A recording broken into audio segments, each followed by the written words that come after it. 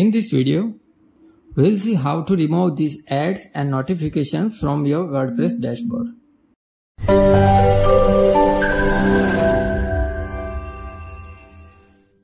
Make sure to subscribe to our channel so you never miss such videos.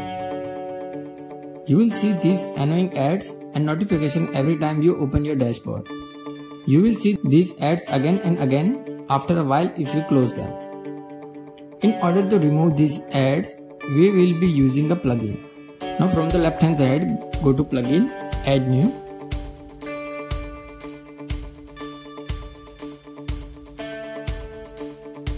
Now search for admin notices manager.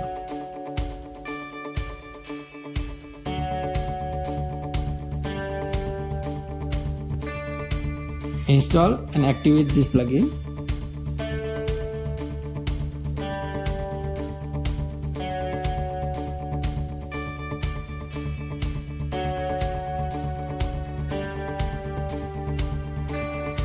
Once activated, you can see all the notification and ads are gone.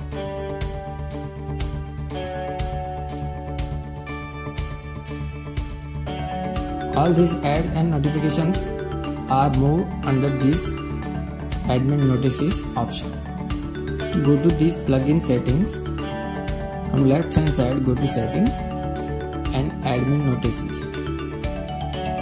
You can change the settings according to your requirements.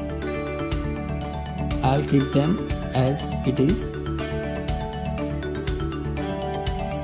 and we are done. Leave us a comment below if you still have any queries. Make sure to subscribe to our channel so you never miss such videos.